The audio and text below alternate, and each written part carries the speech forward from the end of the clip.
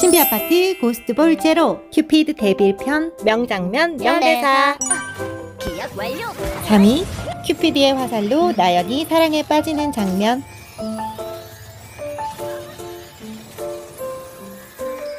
아깐 고백받고 너무 떨려서 그랬어. 실은 나도 네가 좋아.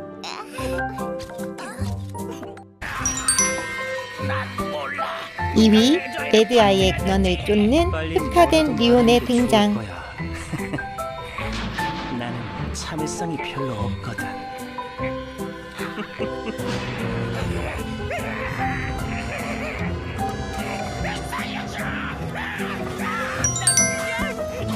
일 1위 꼭두각시가 된 나연에게 진심을 전하는 현우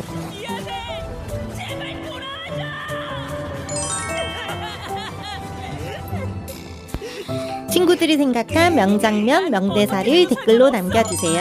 고스트볼 제로 9화 보고 더 재밌는 영상으로 만나요. 안녕! 유튜브 좋아요 양 아니 버튼 양